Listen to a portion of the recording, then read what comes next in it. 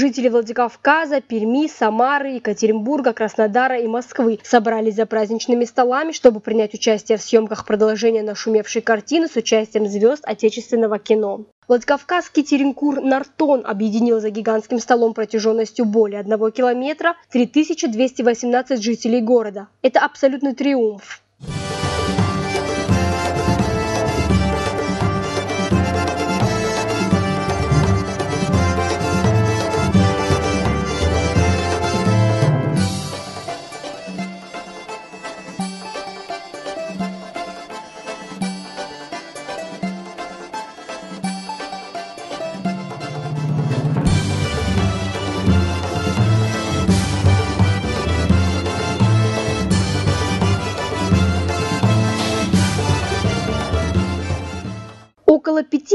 Участников по всей России объединил глобальный проект компании «Базилевс» и «Лунапарк». Создатели комедии «Горько-2» организовали масштабные застолья в шести городах России. Конечно же, мне понравилось, что здесь есть, как сказать, в национальных костюмах люди. Вот. Ну и можно показать детям вообще традиции какие-то продемонстрировать, чтобы воочию, да, так сказать, не только на словах. Ну, я сам пироги пеку осетинские дома делаю. Удаются? Ну, дети говорят, все говорят, кого угощали, что, что это осетинские пироги. Те, кто пробовали пироги а вас вообще. кто научил печь? Э, мама. Она у меня русская, но печет пироги э, даже лучше многих осетинок. А какие вот. любимые?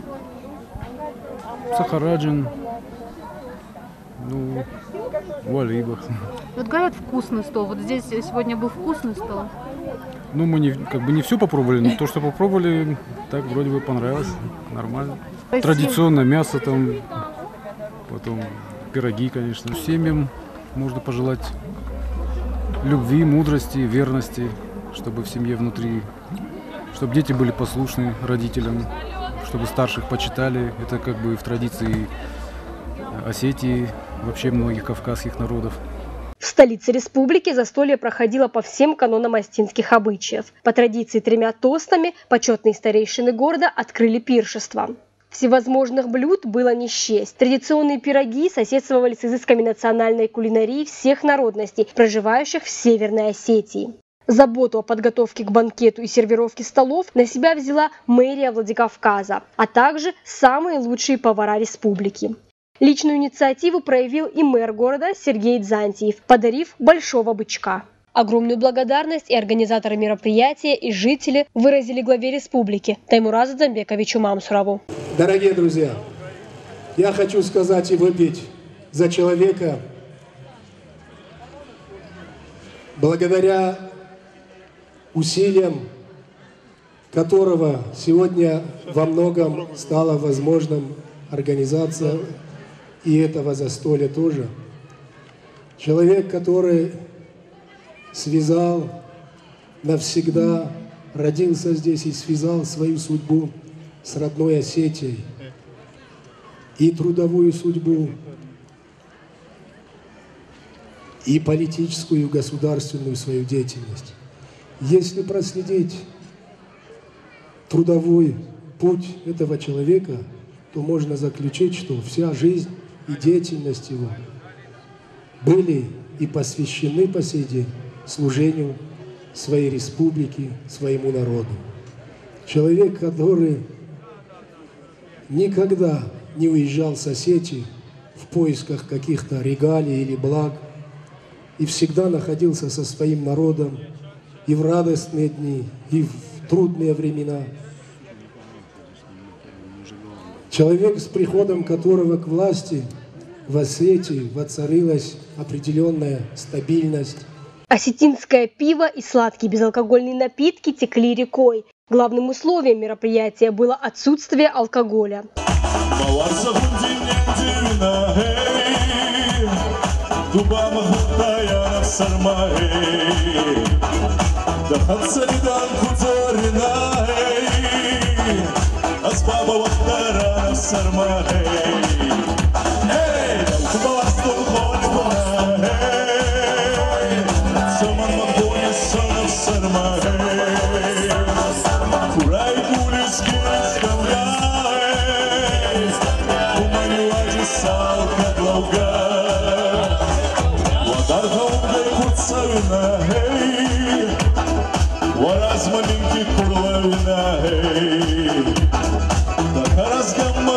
başına hey.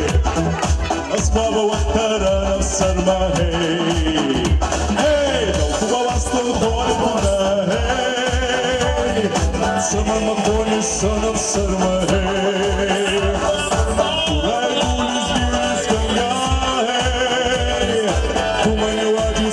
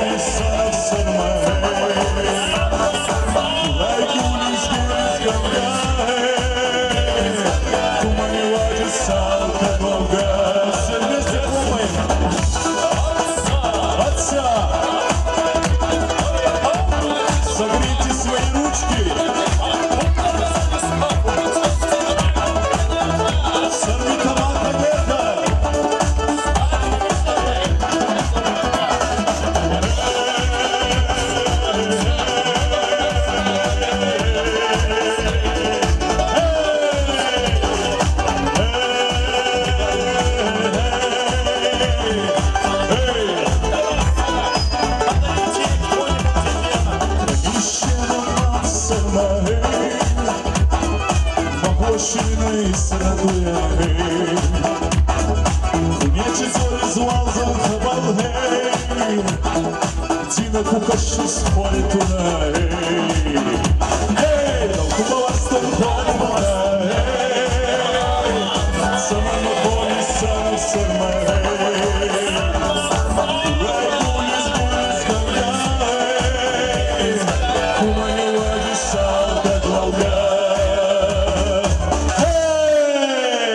Спасибо.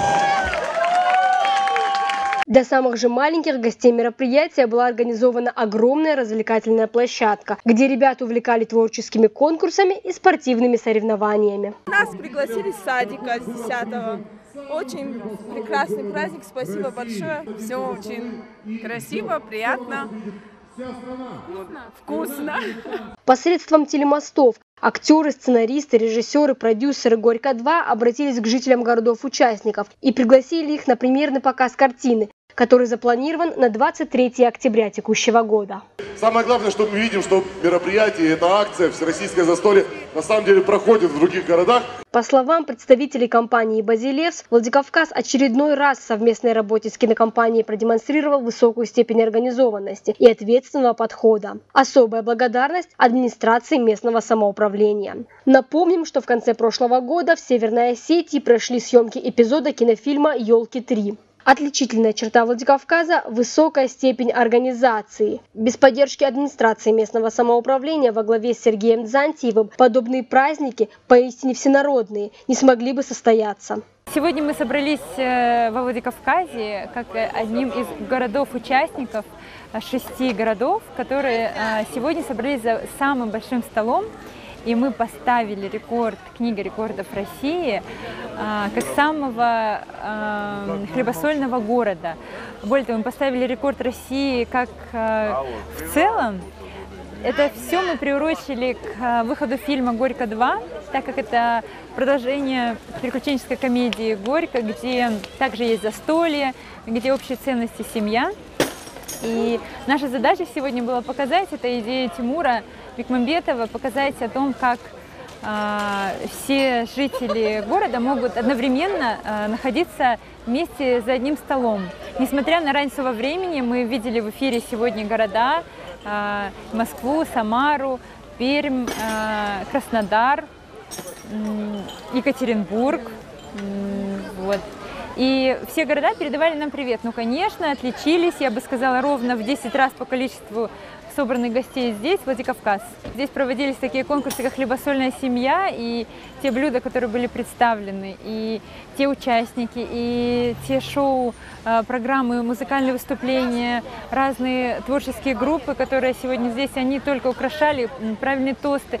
Поразительно, что э, с таким масштабом более трех тысяч человек за столом, э, стол в один километр, остались все правила застолья, остались, э, остался старшие за столом, остались э, вынос блюд, то есть все правила остались, несмотря на количество. Это поражало, что был очень порядок.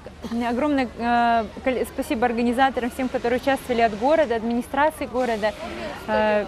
Идеальный праздник для детей был устроен еще параллельно, поэтому это превратилось Э, из фильмов какой-то э, в огромный народный праздник, который подарил городу вот ваш мэр. Огромным подарком для всех собравшихся стало и то, что Владикавказ был признан самым хлебосольным городом России. Я хочу, наверное, обратиться ко всем Владикавказцам и всех поздравить с победой.